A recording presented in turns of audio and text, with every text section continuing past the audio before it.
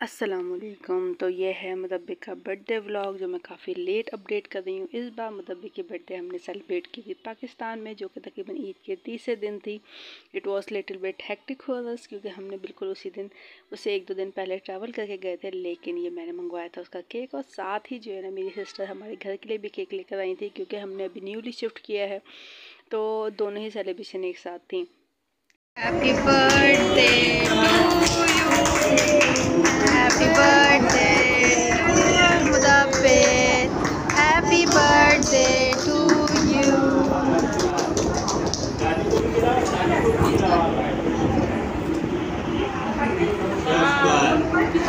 دادی کو بھی کھلاؤ نانی کو بھی کھلاؤ آپ بیسیکلی تو یہ مدبر کی خوشی کے لیے رکھی گئی تھی کیونکہ مدبر کی برتھ ڈے ہمیشہ نائجیریا میں ہوتی ہے اور یہاں بہت سارے لوگ نہیں ہیں اور نہ ہی ہم ان کو انوائٹ کر پاتے ہیں تو مدبر بہت زیادہ خوش تھا اور یہاں جو ہے اس کی گفٹ ریسیونگ ہوئی ہے happy birthday to you happy birthday to اور یہ ہے میری پیاری سی گڑیا نور حرم نام ہے اس کا۔ تو ہم نے اس کی بھی برتھ ڈے سیلیبریٹ کی اور اب آگے آپ جو ہے مدبر صاحب کے جو ہے نا ریویو سنیں کہ کس طرح سمجھداری سے ریویو دیتے ہیں لگا سب سے اچھا گفٹ کیا لگا؟ آپ کو سب اچھا لگے اور ساری کزنس میں آپ کو سب سے اچھا گفٹ کس کا لگا؟ فرین کا سب کا۔ اوکے آپ تھینک یو بولیں گے سب کو؟ بولیں۔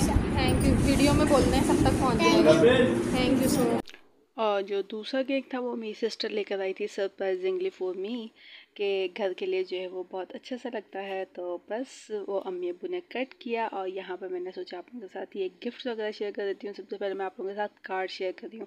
مجھے بہت بہت اچھے لگتے ہیں تو آپ دیکھیں گے میں نے بڑا ڈیٹیل کے اندر جو ہے کارڈس کو شیئر کیے ہیں، یہ مجھے ایسا لگتا ہے یہ بہت چیز جو ہے فیلنگس ہوتی ہیں اور جب بھی ہم ان کو کبھی بھی زندگی میں پڑھتے ہیں تو وہ جو میموریز ہوتی ہیں وہ ساری ریکال ہو جاتی ہیں۔ تو یہ جو کارڈ تھا وہ میری اور مدثر کی طرف سے تھا، باقی جو کارڈ تھے وہ امی اور ابو یعنی کہ نانا نانی کی طرف سے تھا۔ آئی ایم سو اٹیچ مجھے بہت اچھا لگتا ہے۔ اور پھر جو ہے یہ والا ایک اور بھی کارڈ تھا جو مطلب کے لیے بہت سارے کارڈس آئے تھے۔ میں نے تمام کارڈس کو ان ڈیٹیل اسے دیکھا، بنایا اور اسے ریکارڈ بھی کیا۔ اس کی ایک خاص وجہ یہ بھی ہے کہ جب بچے بڑے ہو جاتے ہیں، بالکل ویسے ہی جیسے میں اٹیچ ہوں ہوپس ہو، یہ بھی ایسے ہی ان کارڈس وغیرہ کے ساتھ اٹیچ رہیں گے۔ اور یہ تھا ابو کا گفٹ ابو نے ایک گفٹ بھیجا تھا مدبر اور محدث دونوں ہی کے لیے۔ ابو نہیں آئے تھے، ان کی طبیعت ٹھیک نہیں تھی، لیکن ہیز نانا ابو تو بھائی نانا ابو کی طرف سے ہو یا دادا ابو کی طرف سے گفٹ تو آتے ہی ہیں۔ تو یہ سب سے پہلے میں ابو کی طرف سے بھیجے جانے والے گفٹ کو شیئر کر رہی ہوں جو امی نے دیے تھے۔ اور ساتھ ساتھ متبے کے ساتھ ساتھ محدث کے بھی گفٹ آئے تھے۔ یہ جو ہے ابریش کی ماما لے کر آئی تھی یہ محدث کے لیے۔ اور اسی کے ساتھ جو ہے، یہ بہت ہی اچھا اٹریکٹیو سا تھا۔ اس کے اندر جو ہے لائٹ جلتی ہے یہ مجھے بہت اچھا لگا تھا کہ بچے جیسے جو ہے کافی خوش ہوتے ہیں اس طرح کی چیزوں سے۔ اور یہ دوسرا والا جو ہینڈ ہے، وہ نور حرم کی ماما لے کر آئی تھی، ساتھ میں یہ دادا ابو لے کر آئے تھے۔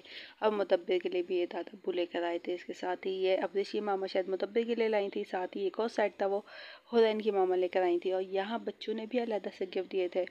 حرین بھی جو ہے متبر کے لیے لے کر آئی تھی۔ اور آئی تھنک یہ بھی حرین نے یا پھر ابریش نے بنایا تھا۔ آئی ڈونٹ نو دونوں میں سے کس نے بنایا تھا۔ لیکن اس کے ساتھ ہی یہ جو ہے واچ جو ہے نا وہ حرین لے کر آئی تھی۔ تو مجھے جو ہے نا اس وقت تو زیادہ نہیں۔ اور یہ جو گفٹ ہے یہ ابرش اور اشمل کی طرف سے تھا۔ تو اور یہاں اسٹارٹ ہو گیا ہے جناب کے کھیل کود وغیرہ اور آگے جو آپ پکچرس دیکھیں گے۔ اور یہ نور حرم کی ماما فٹ بال بہت اچھی لے کر آئی تھی۔ مجھے ویسے بھی فٹ بال بہت بہت اچھی لگی تھی۔ اور بس یہ ہے کہ یہاں دادی امی سے گفٹ وصولی ہوتی ہے یا نانی امی سے اور بچے ماشاء اللہ ماشاء اللہ اتنے خوش ہیں کہ اس بات جو ہے نا میں نے کافی کہا کہ اسنیپنگ وغیرہ کہ I don't know what they were talking but it's such a little cute picture اور یہاں پہ تمام جو ہے کزنس کے ساتھ مطلب کی پکچرس وغیرہ بنائی ہیں، ایسا کبھی بھی نہیں ہوتا ہے۔ پہلی دفعہ ایسا ہے کہ سارے کزنس تھے اور آپ دیکھ سکتے ہیں محدث ابھی بھی اس کے کیونکہ پہلے متبر ایڈجسٹ نہیں ہوتا تھا اور اب جو ہے محدث نہیں ہوتا ہے۔ تو یہ بہت ہی پیاری پیاری سی پکچرز ہیں میموریز ہیں، جس کے اندر جو بچے انتہائی خوش ہیں اور ایک دوسرے کو گفٹ دے رہے ہیں اور جو ہے پکچرس بنوا رہے ہیں۔ تو بہت ہی اچھا میرے لیے بہت اچھا مومنٹ ہے۔ ورنہ نارملی کیا ہوتا ہے کہ ہم الون یہاں پہ بناتے ہیں اور یہاں جو ہے نا ان لوگوں کی سیکرٹ سیکرٹ سی بات باتیں ہیں۔ جو بچوں کی ہوتی ہیں میرا خیال ہے بچوں کو یہ کرنے دینی چاہیے۔ کیونکہ میں سوچتی ہوں کہ جب ہم بھی چھوٹے تھے، مجھے یاد آتا ہے تو ہمیں پیرنٹس کہا کرتے تھے، بھائی تم لوگ کتنا بولتے تھے اس ٹائم میں ہم کو سوچتے تھے، بھائی ہمیں ایسے بول دیا۔